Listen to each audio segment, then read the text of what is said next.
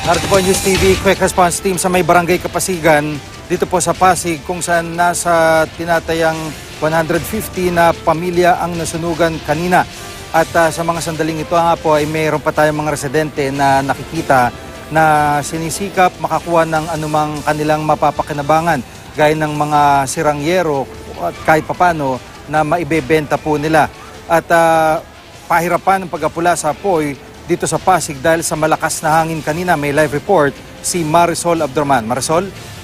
Gigi, mabilis na makyat ang alarma ng sunog na sumiklaw sa barangay Kapasigan sa lungsod ng Pasig kaninang umaga.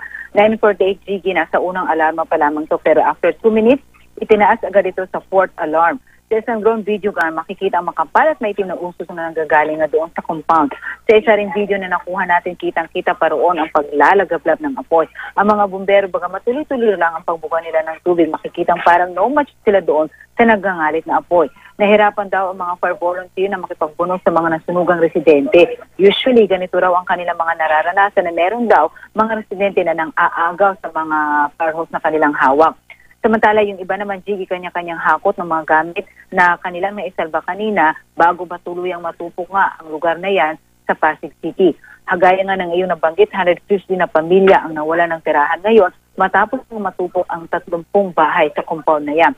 Meron din, Jiggy, apat na nasugatan kanina na dinala sa ospital dahil nahilo raw at ah, kamuntik pang mawala ng malay dahil nahirapang huminga dahil nga doon sa napakakapal na usok at maitim nga na kanilang naranasan kanina.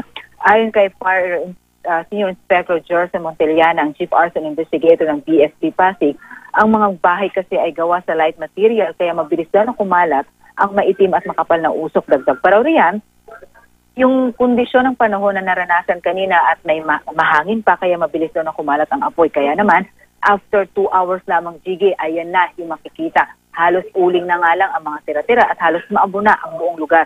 Inaalam pa sa ngayon, Jiggy, ang sanhi ng sunog na nag-iwan ng 3 million na halaga ng pinsala. Jiggy.